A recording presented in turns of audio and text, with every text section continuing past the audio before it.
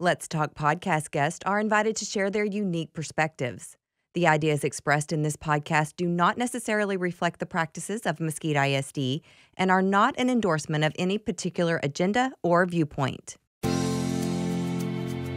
Welcome to the Let's Talk podcast, inspired by Mesquite ISD Leadership and Empowerment Team, or LETS for short. Our guests include educators, students, and community members sharing their experiences from their perspectives. So let's have a real conversation about embracing our differences and finding common ground with your hosts, Dr. LaDonna Gully and Ted Madden. Hello and welcome back. We hope you had a great holiday season. And for all of our Mesquite ISD listeners, we hope you are refreshed and recharged after a couple of weeks off. It's 2023, and we hope one of your New Year's resolutions was to rate and review our podcast. Also, share us on social media or go old school and tell a friend because all of that helps grow the show and bring in new listeners. We will start as we have every episode for the last two and a half years with our introductions. My name is Ted Madden. I work in the communications department, and I'm a 49 year old white man. And my name is Dr. LaDonna Gully. I am the director over leadership and empowerment, and I am a 52 year old African American woman. And I am Regina Jackson. I am the principal of the amazing AC New Middle School, and I am a 54 year old African American woman. Thanks for coming in. It's good to see you. Thank yeah. you for inviting me. And we want to know first, as we ask all of our guests, about the background, where you come from, and how you got here. Okay. Um, I'll try to give you the condensed version. So, my background I um, um, did not grow up in Mesquite, uh, unlike a lot of people. Um, I actually came from Dallas, grew up in Dallas, um, specifically Oak Cliff. If you know that area, then you know where that is. Um, my background, I did not, I was not interested in being a teacher. Mm-hmm. Had no interest in being a teacher. Didn't know that that's what I wanted to do. Um, and so I kind of came about that in a kind of indirect route. I was uh, actually going to school for uh, physical therapy. Um, that was my plan very interested in that. Um, actually, was working at a physical therapy clinic, uh, well on my way. Um, at the same time, um, I'm going to school for that, but um, I'm also volunteering in uh, my daughter's school as a single mom. And so, besides school, it's also spending my time volunteering, being available at her school just as much as possible. And so, I'm doing that. And then um, her principal um, said, you know, you're up here all the time. You might as well get paid for it. So I don't want to do that. Um, and so he kept pushing, kept pushing. Finally, I, I did um, decide, okay, well, I'll sub. So that's what he wanted me to do.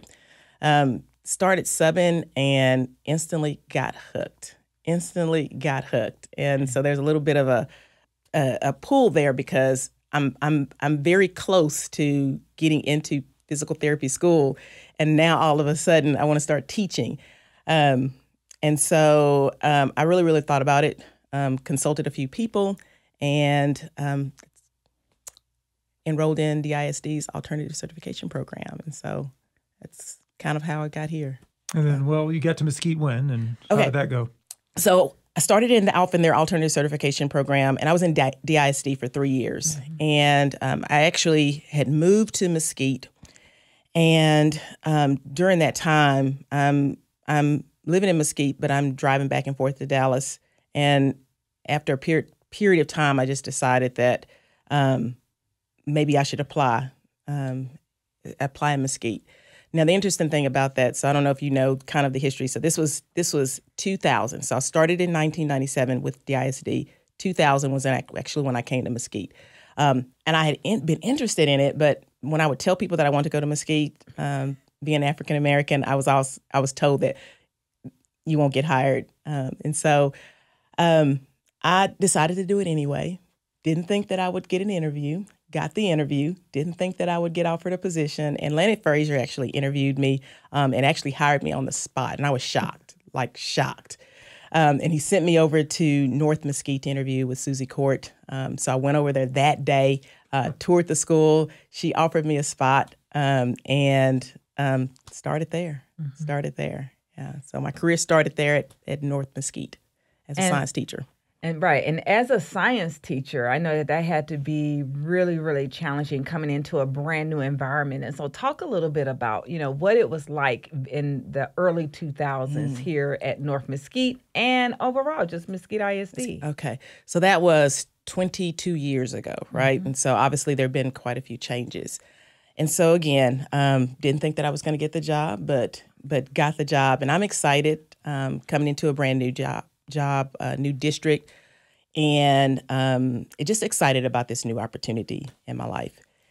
And one of the first things I noticed at, when I got there, you know, when you arrive on that first day and, you know, you get an opportunity um, to see kind of the the campus and see all the all the teachers, all the veteran teachers. And then, so one of the first things, obviously, I noticed is that um, there were very few African Americans um, not just females, just very few African Americans in the building. I think there were probably like five or six. And when you think about how big North Mesquite is, and that included Mary Randall, who happened to be the assistant principal, right? Um, and so I, am a little, you know, trying to trying to gravitate, trying to find someone. Um, and it was a little bit interesting because um, it, anytime, um, obviously, when you go into a new building, you're you're looking for somebody to connect with. And so um, you know, I'm trying to go out and trying to meet new people, and it's a little bit different. Um, I can tell right away that that that it felt like it was that some people were a little bit standoffish, just just a little bit. Uh, not everybody, but just just just a few. And that was one of the things that came across. Um, there's a there's a an interesting uh, memory that just stands out. Even 22 years later, it stands out. I'm at a training. Um, I'm with all the science teachers, and I think we're at we're, I think we're at Mesquite High School, and so we're in Mesquite High School, and um, you know, teachers are talking, and you know, and I don't know anybody, so I'm just kind of sitting back listening, right? I just you know, I don't know anything about the other schools. I don't know anything about you know which school which school is considered you know the best school. So they're talking about like um, resources and um, labs and the the conditions, and all of a sudden this school comes up, Poteet, and I don't know anything about Poteet. And they're talking about Poteet, and I could tell um, that just based on the conversation that that the people in the room considered that like the the the better school, which I thought was interesting because even the teachers the teachers at North Mesquite were talking about Poteet as as if it was this you know this awesome awesome school, and so I just thought that was kind of strange coming in, and I was just curious about it. Um, you know, what was it about it that was so different?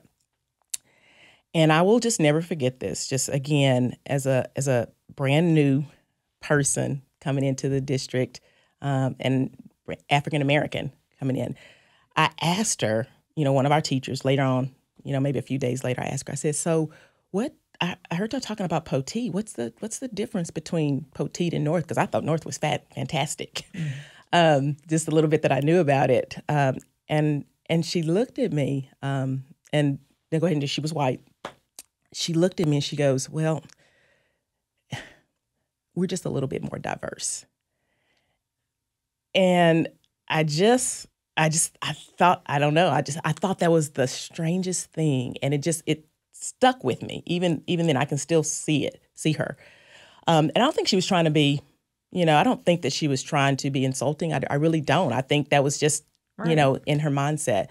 Um, but that gives you a little bit about kind of the, a little bit of the culture at that time. Um, I, I literally I went back and looked at the at the at the numbers, and I think that the district itself was like five percent African American at the time. Oh wow! So not very many, um, and so there was just a lot of uh, of of experiences. And even as a teacher, I was there four years as a teacher, three years as an assistant principal, um, and that was a great experience to be able to be an assistant principal in the school where you were a teacher. Um, but it also allowed me to see a few things. And I knew that even as a teacher, I felt like there were some experiences that I had that I was questioned more. Um, and this was questioned more by the parents um, or decisions that I would make. Like I felt like there was a need to justify that, justify, you know, why I made a particular decision. It was questioned. And I, I, I you know, it's one of those things that you can't prove, but you you just feel, mm-hmm. you feel that your judgment was called into question. Um, because you may have been maybe the only African American teacher that that that um, that that child had. Um, and so that just kind of happened again and again. It was just experiences like that. Um, and I don't want to give the impression that that was it because um, obviously I've been here 22 years and I've had some amazing opportunities and amazing experiences, and I love Mesquite. Um, and I sing the Mesquite's praises to anybody that will listen. It's a great place. At one point, at one point in time, I was actually driving one hour one way. Um, and so you think about that. You pass lots of schools, you pass lots of districts, but there's just something about Mesquite. You know, my daughter came up in this district. Um, and when I think about the opportunities that she had, how prepared she was when she went off to college, like there's just, I don't know, there's just something about Mesquite. Yeah. LaDonna, when did you start in the district? So I started in 2003. Okay, and mm-hmm. you're, you're you're two years apart in age, mm-hmm. Yeah.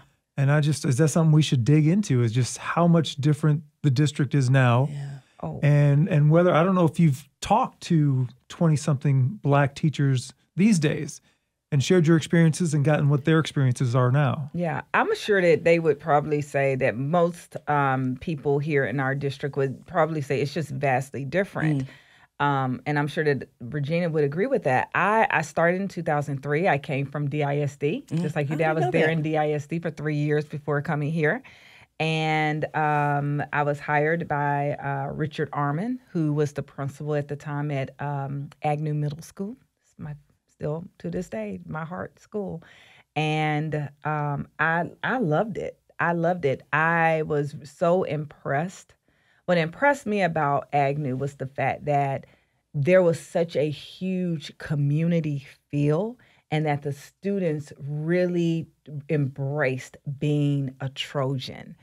Um, it, there was everything about just being a Trojan and then preparing to become a mosquito, a skeeter, right? In preparation for that. And so you you definitely felt the the level of tradition and the overall positive culture. And I, I will also say probably that very in a very short amount of time because you came in 2000, I came in 2003, and by that time there probably were, were about maybe almost 20 percent of students now that were um, that were African American descent, and then and so you then began to see this this really kind of reduction in the number of um, Anglo students um, in Mesquite as opposed to Hispanic and African American students, which has kind of been a trend, to be quite frankly, for frank for all of the uh, surrounding areas uh, within the DFW area. Um, I think what has been really incredible, though, is just like Regina, there is this affinity for Mesquite and Mesquite ISD. Like her, both of my daughters went to Mesquite schools and graduated uh, as skeeters. They didn't want to be anything other than that, and um, and they've gone off and done really just great things. And so it really makes you proud, not only as a parent but also as an educator, to work here and to see the change, right? Because de- I mean would if you ask someone 20 25 years ago when you first got here to mesquite do you feel like you had to be something else Mm. people would probably say yes what would you say regina I would definitely say yes. oh yeah Um, I would definitely say that, and when I gave those numbers as far as five percent, it wasn't actually the students; it was actually the um, the, staff, Teaching, the staff the uh-huh, staff yeah. five percent. Mhm. And so, you know, when you don't have a lot of exposure and a lot of experience, then sometimes it's difficult to make space for something that's different. And so I did feel that when I came here. Um, I, I have some amazing friends that I made that when I'm there, and I still have those as friends today. Uh, Dr. Carpenter and Christy Kraja, um, extremely close, and, and they embraced me and welcomed me. Um, but I did feel, you know, obviously, and you probably know the same things, that um, there were certain things that um, were were brought to my attention and, and so I'm a very straightforward person. I'm very straightforward, I'm very direct. That's the way I like to be. And so for to me that has always served me well. Um, for other people that might seem intimidating. And so that's the word that that is used, but it's also a word a lot of times that's used um, in, in connection to African American women, right? aggression Aggression. Yeah aggressive aggressive. And so I did hear that a lot. And so there was this need, um, and you again, you know this a lot of times as an African American woman, you walk you the perception um, and the idea of you walks in the door before you do a lot of times. And so being aware of that there was this need that okay, I need to tone it down just a little bit. I need to be more likable or or make people more comfortable.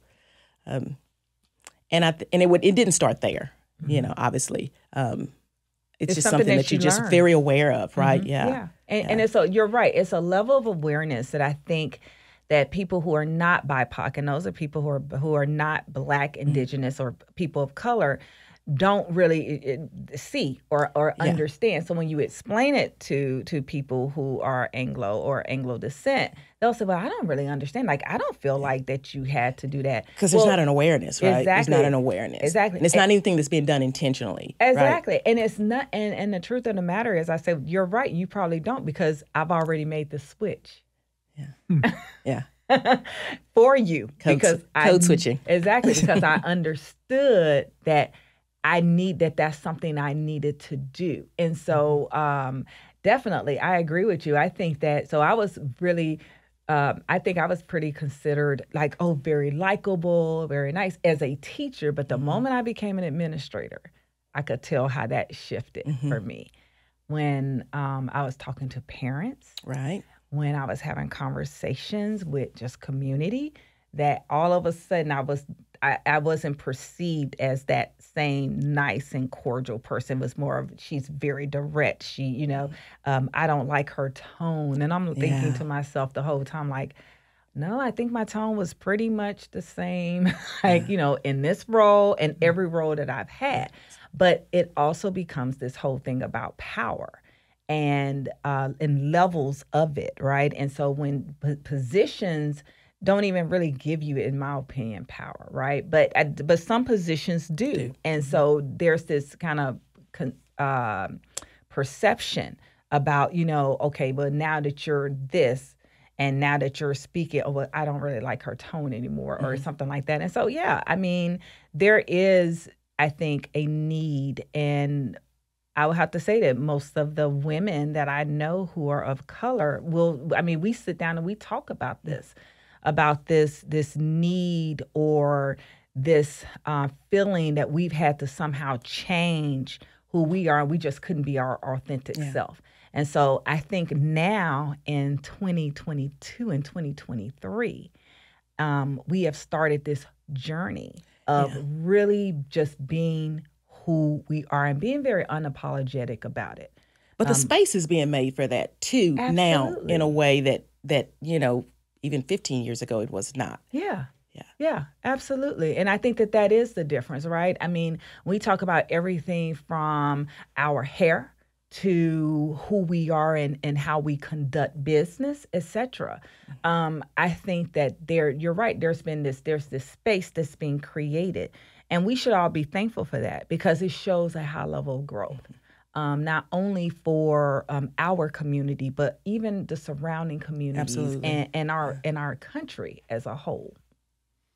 Have you talked to young teachers, black teachers, and, and gotten their perception on what the district is and how that differs from your own when you were that age? I, I have had some conversations with teachers that I've come across, you know, even on my campus now, but but uh, before I was at Mesquite High School for for a number of years, and so I probably had more conversations there um, about the differences and kind of what they see and their experience. And you know, when I first got to North, when I first got to Mesquite, um, there were more conversations where they felt like, hey, the shifts were not being made fast enough, or that space was not being created.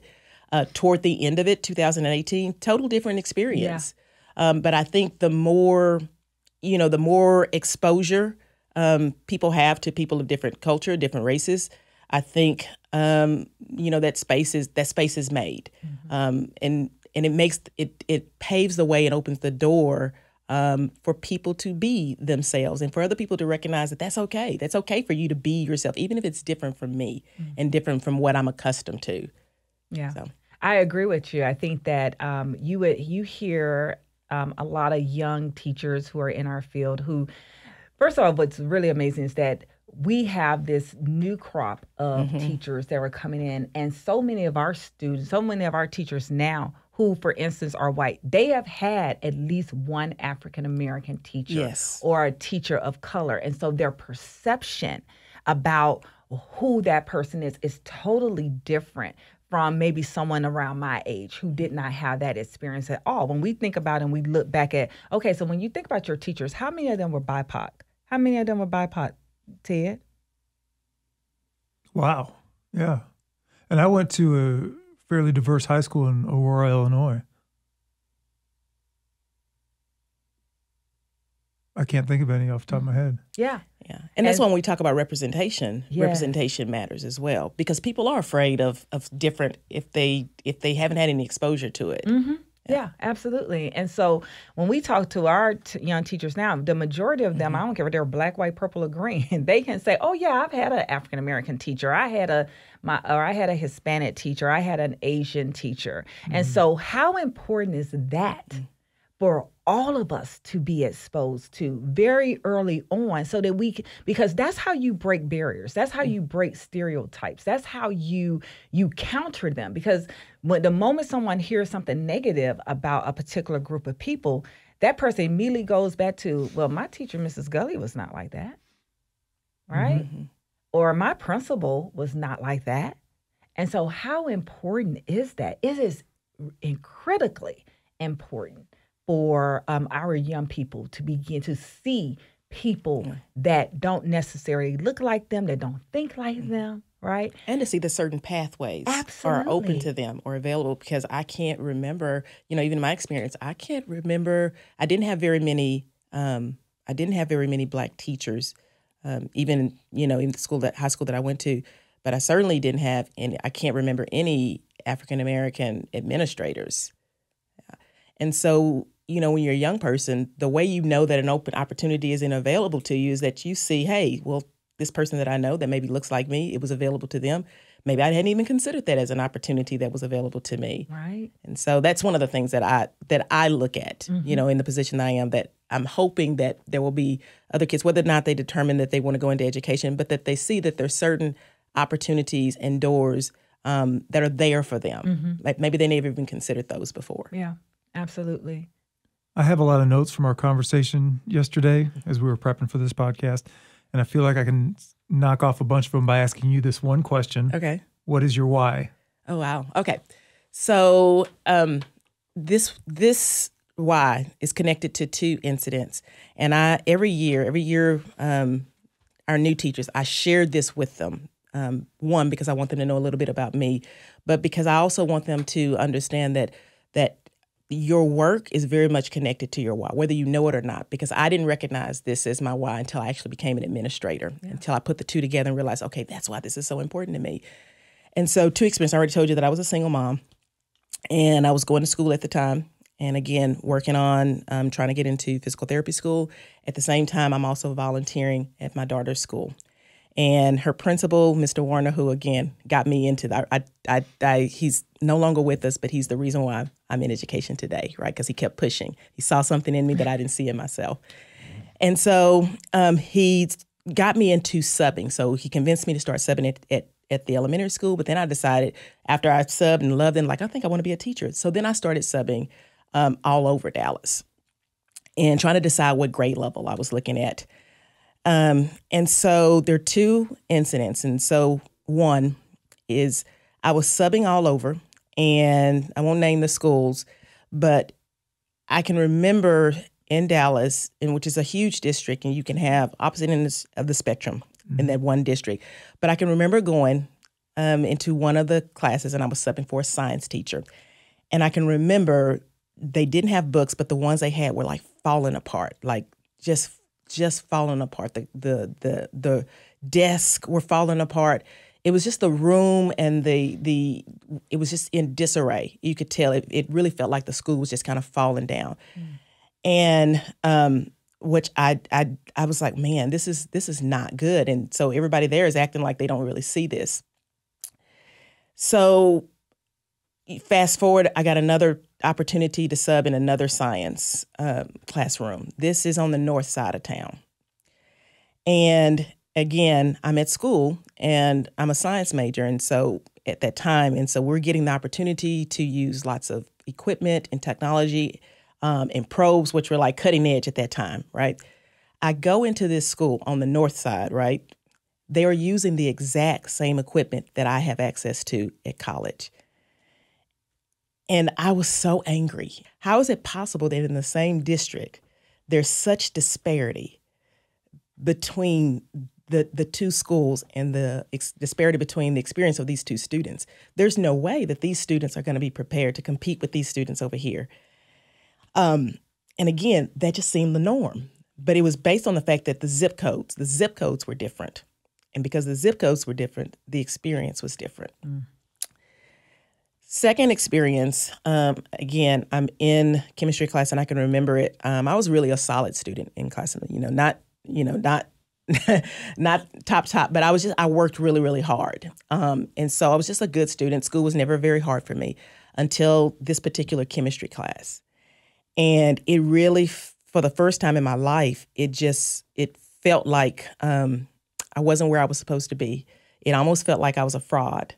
Um, and I can remember the sick feeling like I'm all this time I've thought I was smart and I'm I'm not, and you know they're going to find out, and and it it made me think about the fact that my experience based on my zip code, like these kids were much more prepared.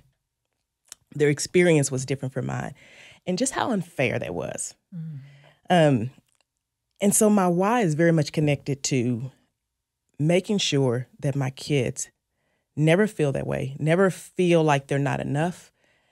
I don't want the fact that kids have a zip code that has them go to AC New that we don't provide them with the experience, opportunities, and skills that will allow them to walk through the door that they need to later, or that will prevent them from taking advantage of an opportunity later. Mm-hmm and that I'm so passionate about that. So I, I will say yes to any. If my teacher comes to me and tells me about an opportunity, I'm going to say yes because it is about making sure that they have the skills necessary. I want them to be confident, and I I hang on to that feeling. You know, I can still feel it right now, even to this day. I hang on to that feeling because it drives me. It makes me want to do everything I can to make sure that AC new students have just as much as the student, you know, on the other side of town or you know in an affluent i want to make sure that they feel mm-hmm. competitive and they feel just as prepared mm-hmm. so that is my why yeah i have to say that as a school building principal that was mine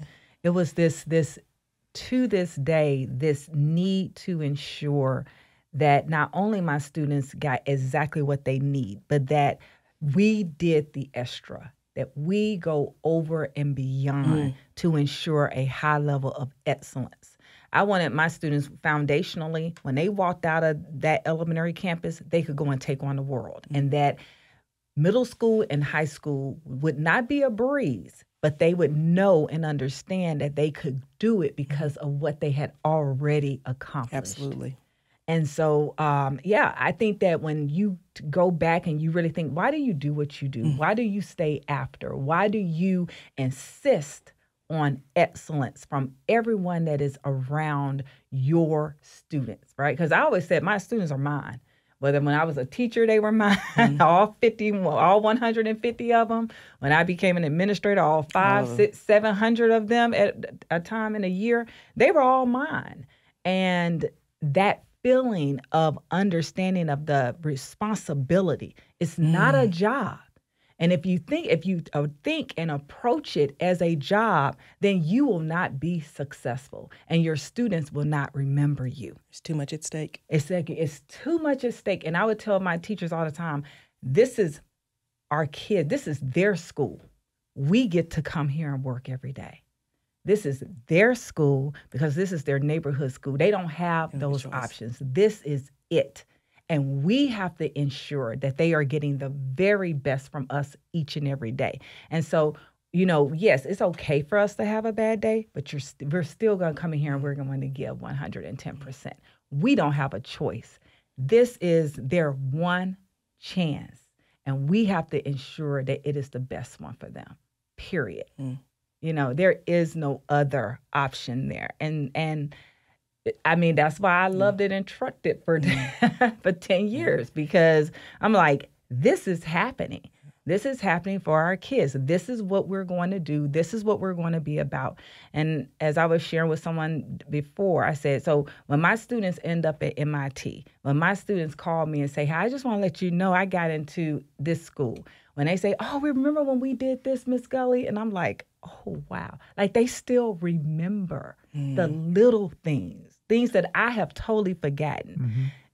The level of pride with that, right? it's just people will never really understand that I, I honestly have always felt that when you give, you get back so much more. And and this job has always, for me personally, has been about the fact that I have always gotten more than oh, what man. I even deserve. Yeah. Right? Yeah. Yeah, absolutely. One of the things that that I have found, because again, discovering my why, knowing how that fuels me, um, in our interview process, and my assistant principals, we we redevised our, um, switched up our questions a little bit, and I stopped asking questions about instruction. Mm-hmm. You know, because I recognized the fact that you know what, it it doesn't really matter um, the answers to these questions or your um, ideas, beliefs, or strengths with instruction, like who you are at, as a person. Like that is the most important thing. Yep. And so I, and you know, and they think it's funny because I'll tell them I'm I'm, I'm looking for goosebumps. I want to hear your why. Like I want to hear something very similar, and I want to hear something very similar that tells me something about your core values. Mm-hmm. That how are you going to use those core values to ensure that your students get your absolute very very best. Mm-hmm. And so what I have found is that when teachers have a story like that, like to me that's like okay, they're hired. Yeah. they're hired. Yeah, because yeah. they get it, right? They, they get, get, it. it. Yeah. Mm-hmm. Yeah. And, and, those are the people you want in your building. You want mm-hmm. people who you don't want anyone can anyone I, am not gonna say that because everyone cannot teach. Mm, Let's no, start no, there, no. right? everyone cannot, everyone cannot yeah, teach. um, but you're right. It is the story yeah. because without someone really having, I had my own story of having to sit in a college course and people are just taking notes vigorously and they they're making excellent grades. And i'm like why am i struggling here? Because mm-hmm. like you i was a good student. Mm-hmm. i did everything right. I read. I did all but i felt so unprepared. And i remember me feeling cheated. Mm-hmm. right? And i was like i would never cheat kids. Yeah. every day is about that. Every day is about that. Yeah. Yeah. Yeah. I want to spend a few minutes talking about the let committee. Yes. We our our podcast is named Let's Talk Leadership and Empowerment Team. Mm-hmm. LaDonna didn't get involved until about January uh, of right. 2021. Regina, you were on that original committee. I was. That helped come up with the name, I think, even before it had a name. Even before it had a name. You we were on yeah. the committee. So I, I kind of want to just have you two talk about the origins of that committee and then how it's evolved. Mm-hmm. Okay. So the origins of the committee, um, I don't know if you remember, but it was um, our first meeting. Really was right after George Floyd. Mm-hmm. It's right after that, and so there was just a lot of talk about the fact that we needed to really kind of come together, um, um, have a space where we really kind of explored that, explored where the district was, explored kind of how people were feeling. Um, there was also a book study that was kind of going around the you know some some talk about that. And then it was about kind of bringing together people that were kind of passionate about this work passionate about the conversation. But then also people that may not have been in on that but that would have something to offer and to, and to contribute. And then um, dr v also um, really wanted to use this kind of as an opportunity to kind of develop you know how can we how can we also use it is an opportunity to develop leadership in young people. Mm-hmm. Um, the conversation, um, but also leadership for young people, and then what what would that possibly look like? And so the leadership actually came afterwards. Initially, it was kind of getting together to, to determine, okay, so we know that we, despite the fact that we've come a long way in 20 years, there's still a lot out there. There's still um, there's still kids who still feel that there are conversations that they can't have or they still feel like there's spaces that are not available to them. And so that was one of the most interesting um, pieces as well, bringing in um, some of the young people um, and having them, because you know when adults get together, they decide that this is the this is the pathway, this is what's wrong, and this is you know. But bringing in the young people, like it just opened our eyes up to a whole lot. Um, there were kids that just you know that you wouldn't have thought that just said that, hey, I just I don't feel like there's a space for me to really talk about the things that I want to talk about. I don't feel like in the curriculum or even in school that um, that I'm having the opportunity to really study about the things that I want or study about my own history. Um, and so that was a huge piece because Norwood was very involved at that time. And so him being a history teacher, um, the idea that you know kids were talking about, I don't, I've not had the opportunity to learn about my history. I know that there's out there, but what I'm having to learn, I'm having to seek it out on my own. Um, and so really kind of looking at that, um, bringing in the opportunity to talk about certain books. Um, you know, looking at our library. And so you had some librarians like Amy Ann Bailey who was doing an amazing job, just kind of on her own, giving kids these opportunities. But if you're not at, if you weren't at Mesquite, you mm-hmm. may not have had that opportunity. So really bringing in all of that, like we need to really look at everything. We need to look at library services. We need to look at the opportunities for professional development that we're offering our teachers. Because mm-hmm. I think the idea was that nobody really wanted to, nobody would really want to talk about it. Nobody would really be interested in a book study on. So you want to talk about race, and mm-hmm. then come to find out, yeah, lots of people are interested in it. Yes. So that was kind of how that came about, is just kind of seeing that, man, there's a tr- tremendous need that certain people knew. They knew that there was out there. They knew that there was a need, but as a district as a whole, like like we're we're leaving a lot on the table um, for our young people, and even for our teachers to have the opportunity for some professional learning, to to get together and um, have a sense of awareness about even where they are in this conversation. Yeah.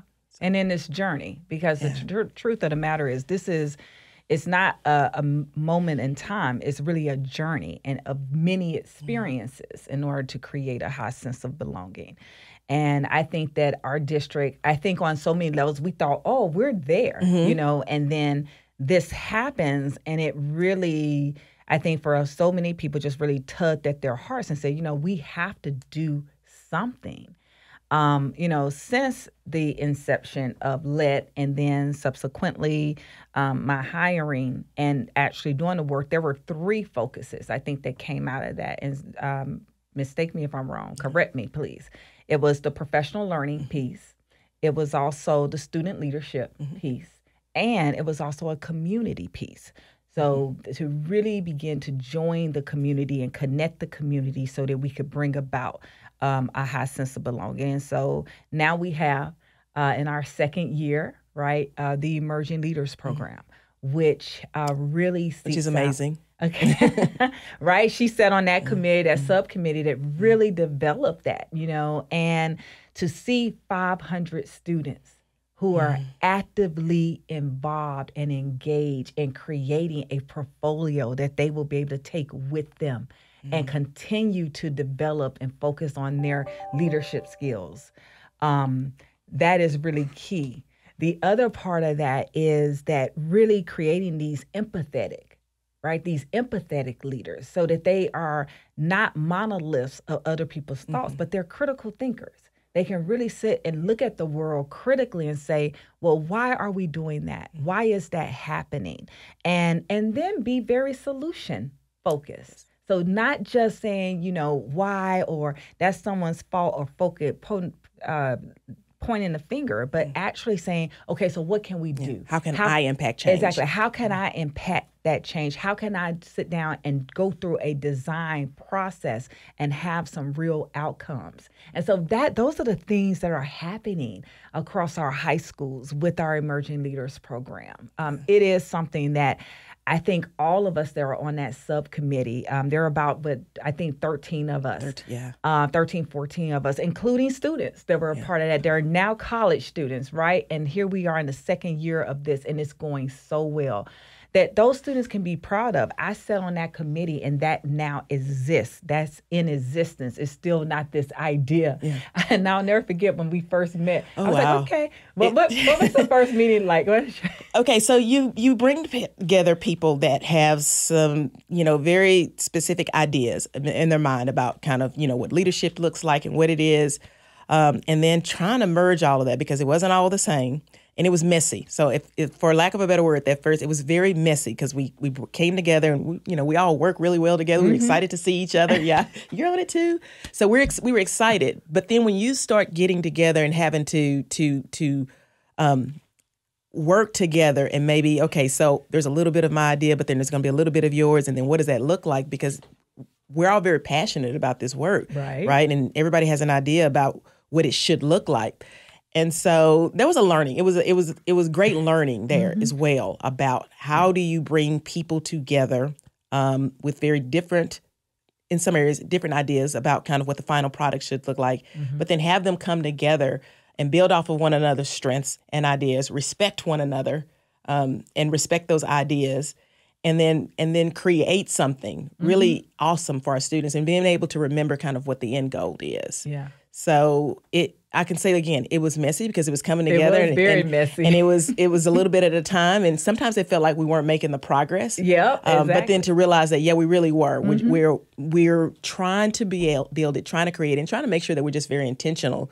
about making sure that that that this is a great opportunity for kids that it provides kids with the opportunity and skills that they're going to need to really be leaders like this like there's nobody else doing this and so i think that that kept coming um, forward as well. Like man we're, we're having the opportunity to do something that really hasn't been done. And then what you thinking about what this is going to do for that student. Mm-hmm.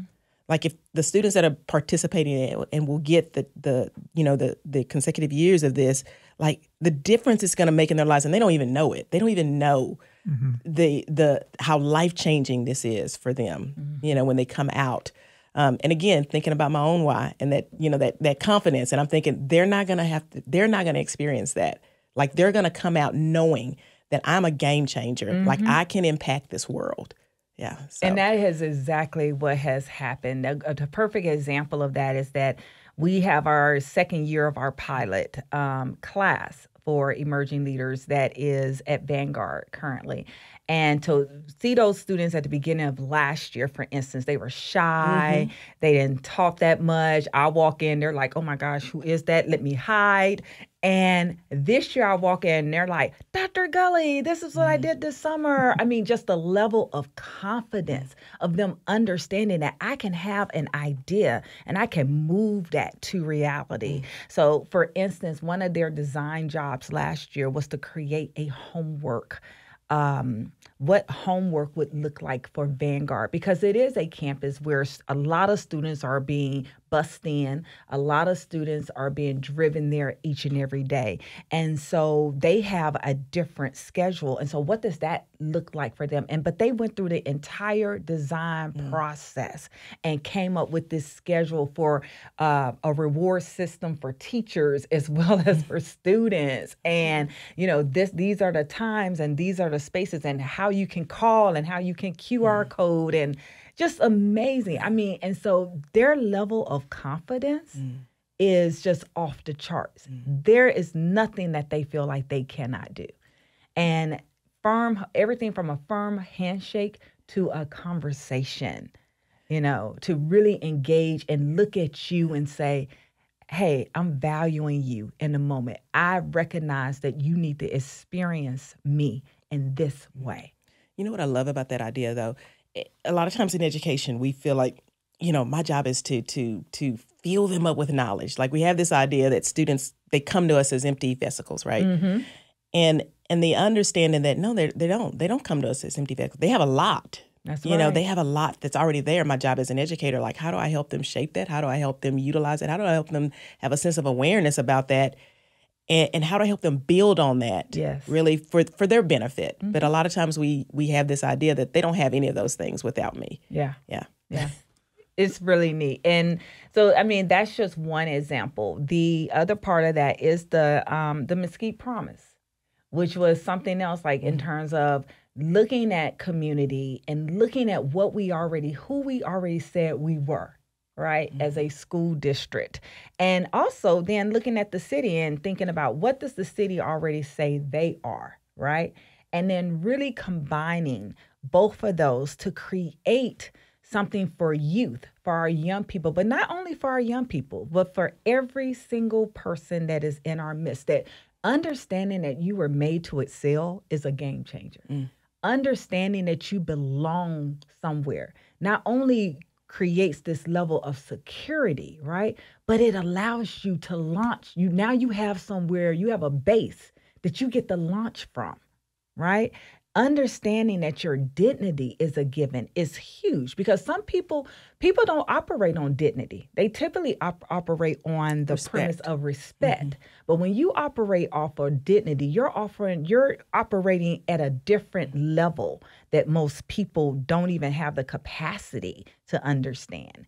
And then finally being a difference maker that means you can touch any anything you touch or you see that is an issue or a challenge or an or a problem, you say no, those aren't any of that. It's actually opportunities to really turn something around and be different and and really be purposeful and intentional. Um, it has been. I've just been really. Um, just surprised by how these 250 people, because I tell people all the time, this is not me. Like I just wrote down and mm. kept lots of notes, and I'm sure people felt at some point, what are we doing anyway? Right? And then I say, well, look at what we have so far. They'd be like, we we said all of that. I'd be like, yeah, you know, and and taking going just going through that process. I just have found it just from where I sit as an opportunity to really be great. And I mm. think that that when I think about the t- over 250 people that have participated in some form of fashion to help with the overall design process of what we have now, mm-hmm. 18 months later, is pretty special. This is normally the part of the podcast where we thank and say goodbye to our guest, but I'm a game changer. Yes, and I'm going to change things up a little bit. Normally, Okay. we go to just a moment with Dr. Gully so she can talk about an issue or a topic she wants to and di- and, and kind of dig from that expertise that she has. But this time, I'm going to give you a topic, Oh. and it's the reason we're keeping her here. The topic is belonging. And I know her campus, you've told me that Regina's campus is doing a great job improving that sense of belonging at AC New. Exactly. So we have uh, we've been actually used a company that's called Panorama, and we started last fall. So there was there were lots of questions about how will we quantify uh, this, right? Because if our goal is to really, if if our- our board said that they are we are committed to creating, right, to creating and cultivating a um, belonging through dignity, right? And so, if we're going to do that, what is that going to really look like, right? What will belonging really look like within our school district? And so, um, we say, okay, well, we're going to have to try to quantify that. And we can quantify that by asking just some very simple questions of not only the adults that are in the building, but also our students, right? And so um, our students were asked just five basic questions. You know, do you feel like people uh, matter to you? Do, do you matter to the people in your building? Do you do people ask you how are you doing? Do you feel like they care, right? How are you treated among your uh, your peers? How do your peers treat you and do they value you? And then the last question for whether you're on an elementary campus or you're at a secondary campus, middle school or high school, it says, "Do you feel like you belong at your campus?" Yes or no? And so overwhelmingly, the students at AC New hmm. said, yes, someone cares about me. I have someone I can go to on that campus. My peers treat me with a level of respect. And I do feel I feel like I belong to this campus. They feel like they belong to Regina. Mm. Yeah, they do. they do. Um, some of what you said, where we've had this history of doing this, and I can tell you that even before I became the principal, you know, Dr. Carpenter was the principal for then. Um, one of the things that did strike me about the difference at AC New and the other campuses that I have been at is, um, and I know every principal says this, but the heart for for kids that existed that it just stood out to me. Um, that the staff at AC New just they they bend over backwards to make sure that kids are taken care of, to make sure that kids are having a bad day. And it's interesting. Like I had a teacher that told me the other day, she's talking about a kid uh, that she noticed that he's having a bad day, and so she's out there in the hallway every morning, and so she's like, "I'm going to give him one more day." But the thing about it is, she's not the only one. There are multiple teachers that will more than likely notice that that kid is having a bad day. Um, and so again, it that was one of the things that I just noticed that I fell in love with right away about AC New, and that was one of the things that Dr. Carpenter created. Um, I can tell you that there are probably some things as far as like my why. Those are very important. It's very important to me that kids feel like this is their school.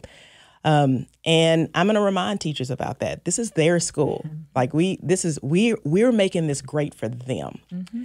And so one of the things I think that's different about AC New is they're like safety nets every everywhere. They're just safety nets. Um, not much happens that we don't know about, and our teachers are so involved. Like that's the culture. Mm-hmm. Um, if if this girl over here is having a a, a a, a dispute about a boy with this girl, all of that girl's teachers are probably going to know about it. And more than likely, two or three or four of those teachers are going to go to the principal about it. That's something that probably would get overlooked maybe at another school because it's just girl drama. We just understand that that's going to fo- that that that's going to trickle um, down. It's going to turn into something. So we really try to head that off. But we also understand that this is a difficult time. Um, and you know, I talked to you about the interview questions that I had that's it's very important to me. Our interview questions are designed because I want to know are you the kind of person that is going to get involved if you see something? Like, are you going to notice that? Um, and and and so we have so many people in our building that that's their mindset, but that's mm-hmm. by that's by design. It's intentional. Right. I, I, want those kind of people in the building. Um, and then my expectations when I first got there, um, I had probably a couple staff members that um, maybe would take a tone that I just didn't feel like was appropriate for kids. And even though it was their natural tone, um, and and maybe nothing had ever been said to them about it, but I just I've just made it very clear, like we're not going to create an environment that makes it uncomfortable for kids. Yeah, we we're just not going to do that. And so that's not something that I'm going to put up with. My staff knows that about me. Um, you know, I have I have a, a few non-negotiables. That's one of it. This is going to be a safe place for kids. And one of the things is I want kids when they look back. Um, I had the opportunity to work for a lot of great principals, and I took something from all of them. And so one of them, um, Christy Starrett, I don't know if you remember her, mm-hmm, but one of the things that that I learned from her is that kids need to be able to look back on this experience and know that you went to the trouble to create a great place for them. Yep. And so that's one of the things that I want for AC New. When they look back, man, they cared enough to make it a great place for me. And so I have great people. Um, I have great counselors.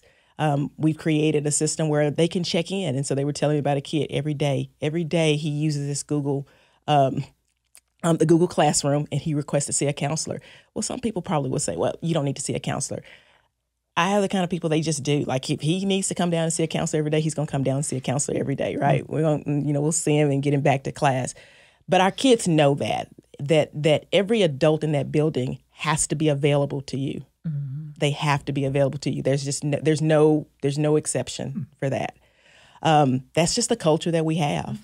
And, and we are just we're very involved in their lives. And i'm just amazed at the number of people that can tell you just so many details about that kid's life. Yep. Um, and we just we that's the expectation. Mm-hmm. um, and we head off a lot. I have assistant principals when i first got you know they started with me. But year one i would say yeah man y'all are spending so much time in the you know they would come in and they bring kids in and they'd conference and they'd bring in if they felt like this one was not getting along with this one they'd bring them in um, and i felt like man y'all are spending so much time on that but it makes a difference dr v visited our school his last year there and he came and he said i wanted to know you know, he hadn't been there before, but he came that day just kind of unannounced. He said, I wanted to know why your discipline numbers are so low. Like we have of middle schools, we have the lowest discipline numbers. I think that's why. Yeah. Like we just, the safety nets, the involvement. Um, yes, we're going to make sure academically you're prepared, but we also going to make sure that you feel welcome. You feel like we're available to you. Yeah. It's that value so, and worth piece, yeah. right? You're valuable and worthy of my time. Mm-hmm of of ta- of coming into my space and n- not really coming into my space but joining mm-hmm. our space and people that don't buy into that don't last because a culture doesn't sustain that that's right that no it can't absolutely well thank you for the conversation it was great having you thank you i enjoyed it that's regina jackson the principal over at AC New if you have any questions for us, you can email Dr. Gully and I at our email address, let's talk at mesquiteisd.org. Visit us on social media. You can find us by using the search term Let MISD. Thanks as always for listening. For Dr. LaDonna Gully, for Regina Jackson, I'm Ted Madden. Let's talk again next time.